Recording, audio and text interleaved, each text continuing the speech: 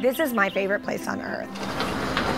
This is my happy place, being at the barn, being anywhere where there's a group of animals. So I have a company that's focused on dogs, and I love that because I can easily tap into the hearts and minds of people with dogs. Like most entrepreneurs, I had a dream, and it was to turn my passion into a business. And that passion is TruDog. It's really growing fast. We're almost to $10 million. And in the next 12 months, we're going to be at $20 million. And it's an insane amount of growth. And the only way to really make that work in a productive manner is to have a really, really strong team. As the COO, it's my job to monitor all of our advertising, all of our, our products. So we develop dog products, pet products, maybe pet food, supplements, um, toys even. So it, it is really tough for us to stay competitive. And, and that's just all the more important for us to kind of use or utilize as many skills and resources as we have available to us to make sure we're on the forefront. Definitively the rule. DMHQ provides things in such a streamlined manner that it's not overwhelming to these folks. Um, they get engaged with it. And the minute we plug them in, that day, I see a difference in productivity. I see a difference in engagement. They all of a sudden start to realize that I can shortcut my success. I can get there faster. Our folks feel much more confident coming out the back end of HQ.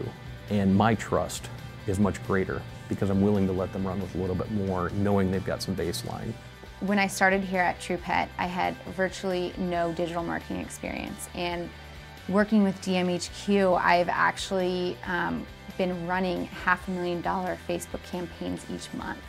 So it's really expanded the amount of trust that um, TruPet has in me to run these campaigns and, and make that money and do what I've been trained to do.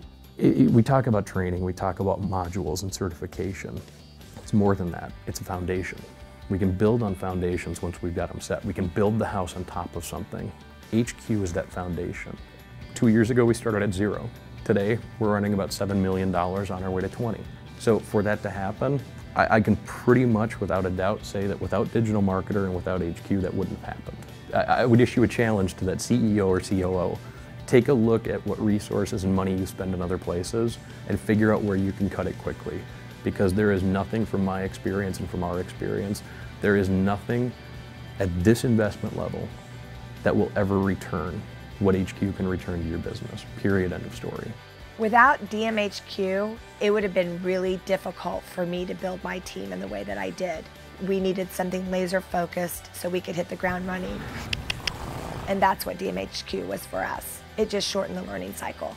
I almost felt like I had a secret weapon in DMHQ that was our tool to help us build our champion team.